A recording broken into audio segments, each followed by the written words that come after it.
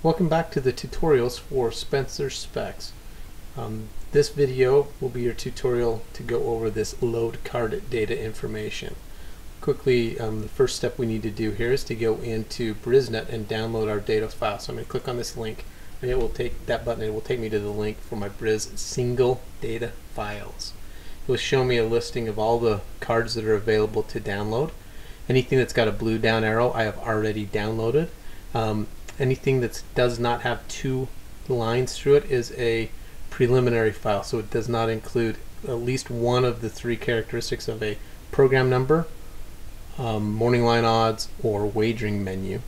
And by program number um, not always is post position 1 going to be program number 1 if number 2 and 3 are a coupled entry they're going to be 1 and 1a and post position 2 or post position 1 is going to be number 2 so when the initial entries come out you're going to see po post positions typically when you look at a past performance.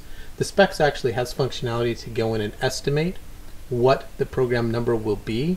It will look for coupled entries and assign 1 and 1A to the first coupled entry, 2 to B to the second, second coupled entry, and so on. Um, 99.9% of the time it's going to be correct, if not even maybe even closer to 100%.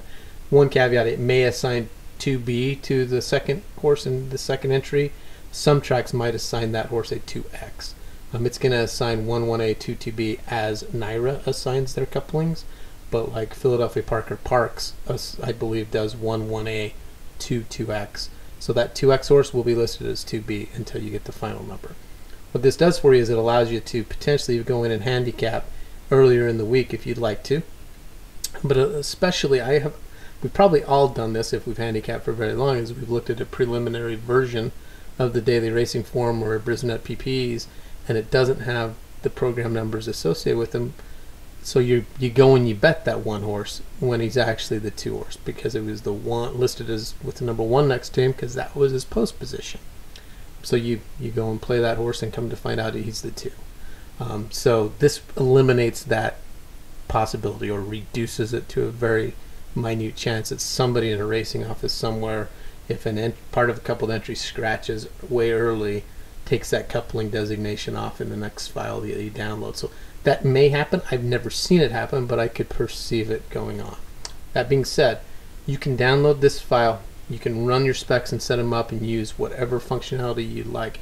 You can then use that listing to go watch replays and add to your trip notes. You can load your pedigree information, all that stuff you can do earlier in the week and then when this becomes a final file you can go and just reload that file into the same copy of the specs and it will add the morning line odds and the program numbers for you. So um, makes it pretty efficient if you've got maybe you know time off on the weekends or you're watching Monday Night Football or, or doing something early in the week or maybe you don't work Monday and Tuesday and you'd like to kind of prep a bunch of things during the day on those days. Um, anyway that's an option what I'm going to do, well, what I, what I wanted to also show you is if I click on this button, there's a green um, with a plus sign in the middle of it.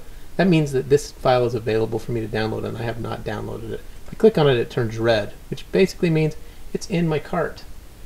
Now you see a negative sign means I want to I want to take it out of my cart. I click on it and it's gone. So that's how I make the selection. Now I can click on any of these buttons that have a blue down arrow that means I've already paid for it and it will automatically download the, that file. So I can click on it and we'll open a tab and it will download that this Keeneland file, which is the file we're going to use. Alternatively, I could go up to my products and it would list me all the products that I have in my that I purchased. And I can click on the down arrow here and it would also download the file. So those are the two ways that we can download our files. Let's go back to the specs. The second step is that I want to paste the data. So I click on paste data I want to paste my data here. Now the problem you have is that the files that we download come in a .drf file. So if I go into into this, first of all you download it, it comes in a zip folder, which if I try to load it, there's two ways you load the specs, or the, the data from the specs, and you can either associate the downloaded file with Microsoft Excel, which I have done, um, or if you've not been able to do that, you can open it from the File Open menu. So I'm going to show you both of those. Inside the zip folder, I can go in and see that it has my Microsoft Excel, this X logo, this green, means that the .drf files have been associated with Microsoft Excel. If I double click on that file, it's going to open it in Excel. Pretty slick and handy. I would highlight column A, right click, choose copy, go back to the specs, right click and paste values. Okay, so I can do that. That's one way. The other way is that I would need to go into, let me close out this file, I can go into this folder, the zip folder, copy or cut the file and paste it back to a folder that I get to. Because for Microsoft Excel, we can go into a file open functionality, but it can't get inside a zip folder. Zip is a compressed folder. Microsoft Excel cannot decompress that folder, so it can't get in, can't see that file. So you have to copy it and move it out manually to its own file if you would like to use it. So I've done that. I moved it out here. So I'm going to open it from there. Um, so I want to go to my download folder, which is where I have it, choose all files, and you can see that I have this um, Keeneland.drf. Now, because I'm, I'm showing you the example and if I don't have that file associated, my .drf associated with Excel, I actually have done a little bit of prep and changed, downloaded that file and changed it to a .drfx for illustrative purposes. You can see that it is not associated with Microsoft Excel. So if I double click or double click on that, it's going to bring me to a text import wizard. Excel's smart enough to know that this is some type of a text file. Now, because it does, you could go in and do a comma delimited open blah blah blah, but my specs have the functionality to convert that from a comma separated file into an Excel type document. So just choose, choose delimited and finish. And it's going to look exactly like what you did before. So I'm going to highlight that and copy it. Let me copy it. Sorry, I like keyboard shortcuts. Sometimes forget and move too quickly. Come back to my, my specs and I'm going to paste it and paste values.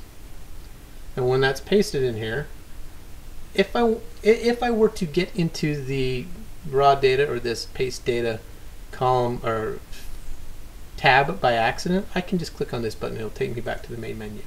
Um, so you can see that I've got this tab of information is here, um, and it didn't take very long to get here. If I go back to, to my, like if I accidentally clicked on that button later on after I've set my specs up, I don't want to have to click on return to main menu and have it, because every time you click on this button, it goes and reformats a bunch of tabs in the specs to handle the number of races on that day's card.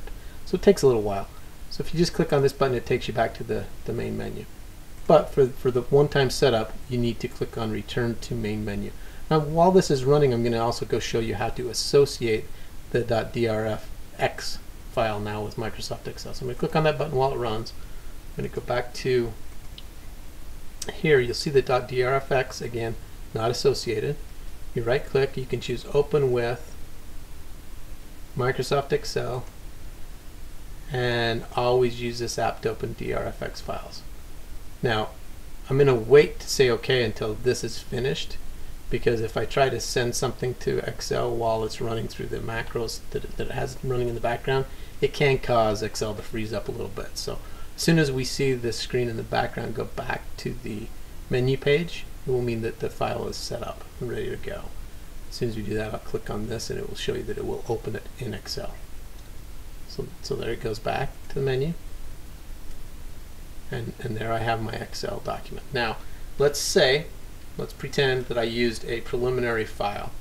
So now I want to go back and paste my, my final data file. I'll go back to my paste data, clear the contents.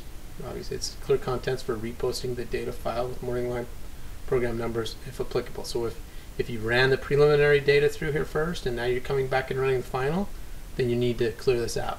If you run the final through it the first time for that card, there's no reason to come back and repaste. Um, so click on that button, it's going to just clear all the data out.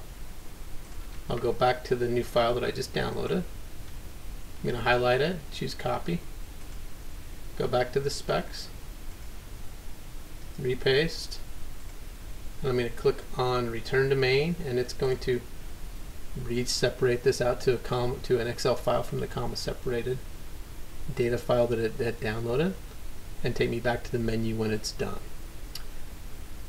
Again, if I had done this and already ran all my pedigree information, it would be cross triangulating pedigree information back to this new data to make sure that, that it has matches. Um, then the next step will be that we want to go in and load carryover data. So you can you can use the link that will take us to the carryover paste the, the location where we will paste the carryover data. Um, right here, and in this tab, you, you want to paste it in the in the field that it that it's open in. But right here's the the link to the Equibase carryover corner carryover listing. So it will open it up in Equibase. Click on it. Hit Control and A. So push Control down on your keyboard and then A and it will highlight everything. That's a select all. Right click, choose copy, go back to your specs, go to this first page, right click, choose paste special, and away we go. Now go back to the main menu. There is a Pick6 carryover, um, at least as of today, the day that I'm running it, which is a couple of days in advance and there are at least one trip note available. So I've made trip notes and there is at least one trip note. We will talk about those a little bit more in detail as we go through the rest of these tabs. All right, look forward to talking to you later. Thanks.